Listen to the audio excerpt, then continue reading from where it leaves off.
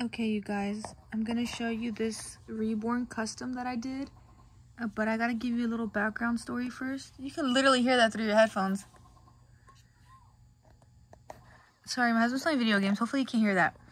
But, um, I'm gonna tell you the little story about it first, and then you guys are gonna be like, oh, shucks, it's all okay, it's all right.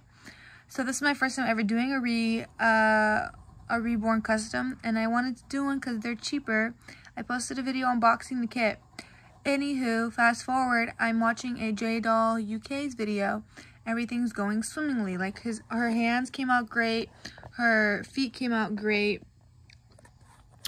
Her head, not so much. I was painting the hair. First I was using a Prismacolor mm, paint, not paint, a Prismacolor pencil to like map out everything. And then I was painting on the hair and I hated how it looked. So I used acetone to remove the hair and then it left around her head a big line. So I tried to do um, the color wash all over again and it just wasn't taking. And I tried so hard to do that. You use the purple, the red, and the yellow as suggested in the video.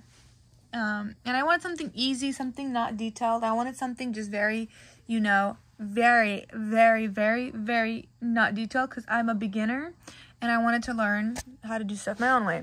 She's wearing this um, um bitty baby dress, but in the camera now you can looks like she has a stain. I promise you, it's just a little diaper I put on her. Anywho, this is like the Jazzy Puppet reborn kit, so she's about 13 inches. I couldn't find her anything to wear, so she's wearing an American Girl dress until I can order something for her that's smaller. So when I show you her face, it looks very horrendous because once I did the color wash, I accidentally didn't mix like the colors as light as possible. So her color ended up being like dark purple and red. And she looked like Thanos when he snaps his fingers. So I went to go rinse her under the sink and remove all of her paint. And then some of the paint wasn't removing off. And mind you, I didn't set it with anything yet or I didn't do anything crazy. So then I was really trying to focus on how I could get her hair to be, you know, cute and not so like the line on her forehead. Like it was noticeable. Like I wish I had pictures and videos to show you. Um, if I do, I'll insert them right now. If I don't, then I won't insert them.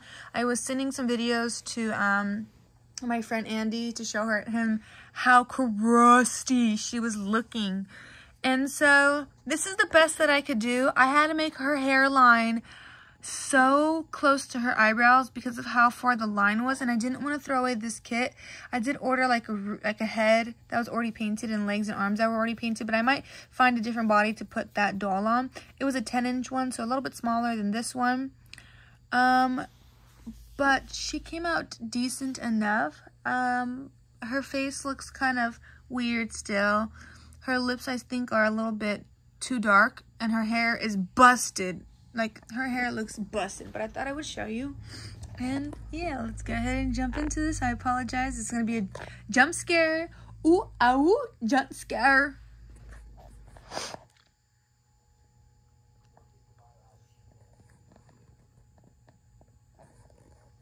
I put this bow that I made on made on because I was like not realizing that I could just put like a magnet in her head and then put her a bow on her head and attach a bow to the a magnet to her bow.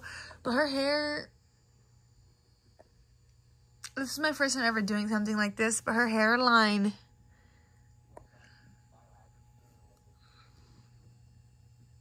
like please don't roast me in the comments being like you did a horrible job. I know. And this is her outfit. She's wearing a a, a, a bitty baby American girl um birthday outfit. Her arms are supposed to be super loose with not really anything in there, so you can stick your fingers in her. Sounds really weird. In the back of her and make her like a puppet so her hands and her hands can move and stuff.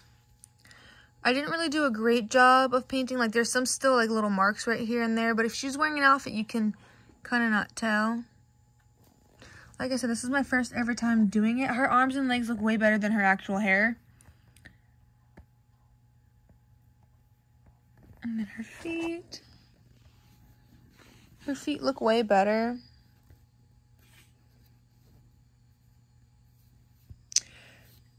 She was she was great until I removed her hair with acetone or she was great until I even started putting hair on her And now she looks horrific. So I put this little bow on her.